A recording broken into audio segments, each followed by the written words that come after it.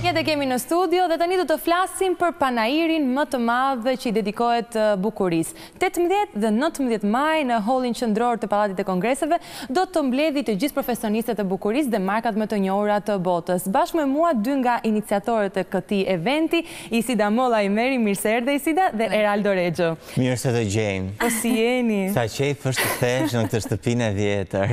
Dhe sa qejf është të intervistosh dy njerëz që i njeh prej vitesh. Okej. Kjo më ndodh shpesh. Kjo është rahatia. Kjo është edhe më qejf. Është edhe më qejf se kimia e krijuar është shumë e rëndësishme në intervista televizive. Unë e kam kuptuar vetëm kur kam nisur të bëj intervista vetë, më përpara mendoja që ishte një gjë shumë e thjeshtë, por kur ke kimi me atë personin që ke përballë. Del më mirë.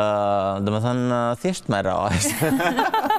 Mirë, tani sot ju nuk keni ardhur për të folur për karrierën tuaj, as si gazetar, as si balerin, nuk e di çfarë po ndodh, çfarë ju ka bashkuar. Po e thashë dhe që sapo tha Eraldo, ajo kimia midis nesh, duke qenë se ne harxhonim kaq shumë kohë duke ndenjur bashkë, ne nuk flasim vetëm për... veten tonë, flasim për miqtë, flasim për projekte, kështu që pse jo, na lindi ideja bashkë me mhm. shtysën e dikujt tjetër, na lindi ideja që ne të bënim një panair bukurie. Pra të gjithë për kohën, as event të vogël, jo, po. panair. Ne nuk e dimë se ç'na tha mendja që e bëmë këtë gjë. Por tani jemi përballë faktit të kryer, më 18-19 maj do të jemi në Pallatin e Kongreseve për 2 ditë të dedikuara 100% industrisë së bukurisë në mhm. Shqipëri, me qëllimin për të forcuar këtë industri, por po për t'i dhënë mundësi të gjithë njerëzve, që të eksplorojnë në një hapësirë të përbashkët, më shumë se 50 marka, mhm. edhe të gjejnë aty veten tek produktet që pëlqejnë më shumë, mhm. ka njerëz që janë shumë të apasionuar pas flokëve, pas kujdesit ndaj flokëve, të tjerë pas kujdesit ndaj lëkurës, të tjerë pas make-upit, pas thonjve, e kështu me radhë, kështu që do të ketë aty një gamë të gjerë produktesh për të gjithë njerëzit, do të ketë parfume, do të ketë vajra esenciale, gjithçka, gjithçka, gjithçka që ju dojnë. Eraldo, janë vetëm firma shqiptare? Janë firma ndërkombëtare me mhm. përfaqësi në Shqipëri.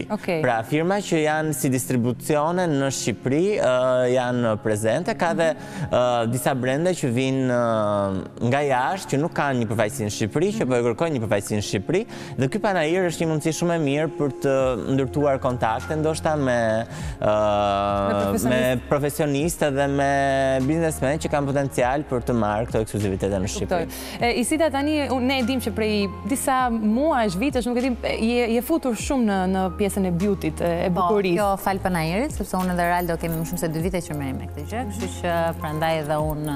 Çfarë të bëri ta kristalizosh një gjë kaq të madhe? Po, unë vet jam pak shumë me qime, le t'i themi ne, për, për gjërat e bukurisë. Edhe kështu që më vjen shumë mirë që në Shqipëri është një treg kaq i madh për sa i përket kësaj industrie dhe as unë vet që nuk kam lënë gjë pa përdorur, nuk e dija që kishte kaq shumë brende dhe nganjëherë është vërtet ajo që që thotë Raldo që është mungesa e informacionit që njerëzit nuk e kanë për të ditur se sa distribucione ka, pra ne gjithmonë vrapojmë duke i blerë jashtë, sa herë kemi udhëtime, mundohemi t'i marrim jashtë, gjërat në fakt që kemi këtu.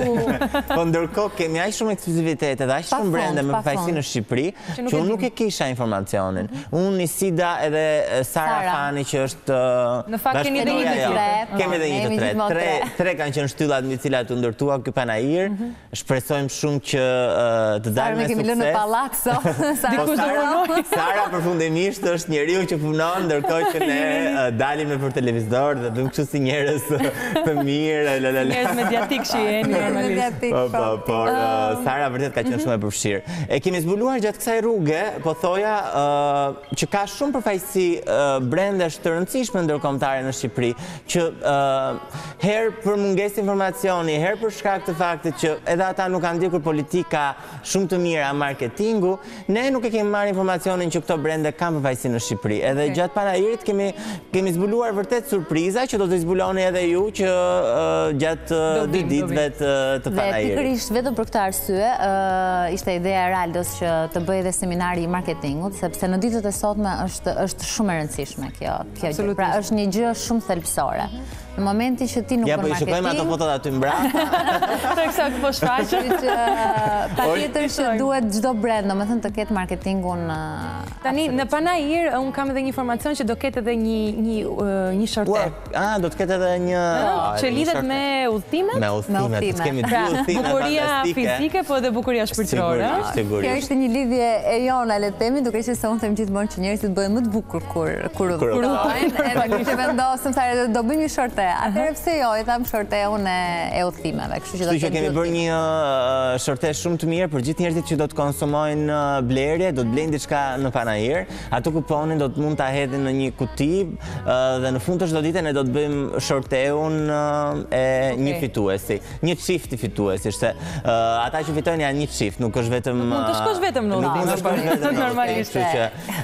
Kjo është e mira, dy destinacionet janë Lefkada edhe Zakinthos, kështu që janë dy destinacione shumë të mira, shumë të dashura. Dhe janë 5 ditë, jo 3 ditë. Për ata që i kanë shijuar, kështu që besoj që të gjitha ato që do të shijojnë kënaqësinë e blerjeve, do të kenë edhe këtë satisfakcionin më pas, se ku i dihet mund dalin fitues. Çfarë ndodh nëpër stendat? Ka një ulje për ato që do vijnë? Po, sigurisht, kjo është kryesorja. Ne është gjëja e parë që menduam, sepse gjithë ne kur shkojmë në një në një vënd ose në një panair le të themi, gjëja e parë që mendojmë ka ndonjë ulje, ka ndonjë ofertë, kështu që ia kemi kërkuar të gjithë brendeve që janë prezent, që secili nga brendet të bëjë një ulje sado minimaliste, por uljet fillojnë nga 10 deri në 50%. Kështu që ne jemi shumë të lumtur për të gjithë brendet që janë prezent. I falenderojmë shumë të gjithë për besimin që kanë pasur te ne dhe që na kanë plotësuar çdo dëshirë, qoftë edhe këtë dëshirën, sepse nuk është e lehtë që të bësh uh, ulje nga 10% deri në 50%. Deri 50% dhe bëhet fjalë dhe për profesionistët edhe për klientët ambulantë, sepse shumë firma kanë edhe seminar për për profesionistët. Pra, dikush që do të të blejë shumë ose të bëjë furnizimin pra për për klinikën e vet apo për për parukierinë e vet për çdo gjë, Mund ta bëj pse jo në panair me një çmim shumë të konsiderueshëm, kështu që qartë. Është panairi i parë në fakt që ndodh në Shqipëri.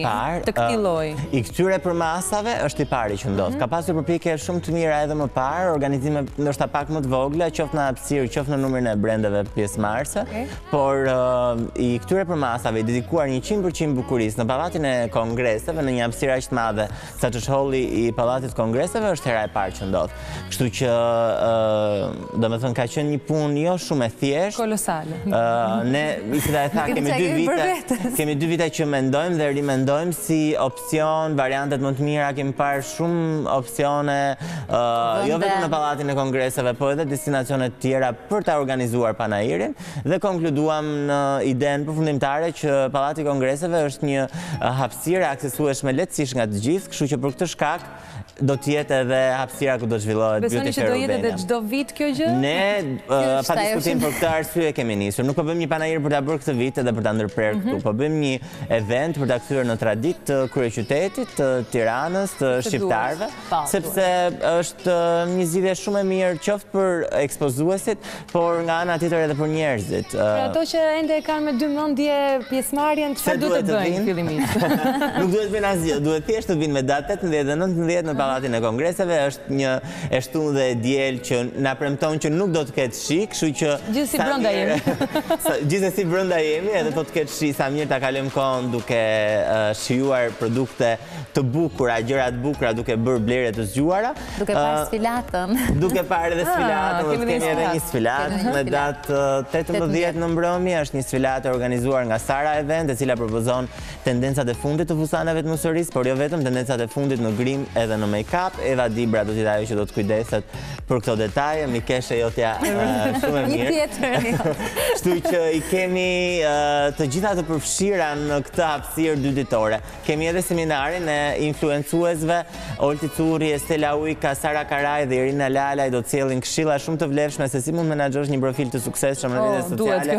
Kështu që i kemi pak a shumë të gjitha gjërat të mbledhura në një event. Për ta mbyllur, hyrja është falas. Hyrja është falas. Hyrja është pa pagesë. Pa pagesë, kush janë të gjithë janë të gjithë të nderuar, janë të gjithë të mirëseardhur. Do të ketë edhe gift bag, do të ketë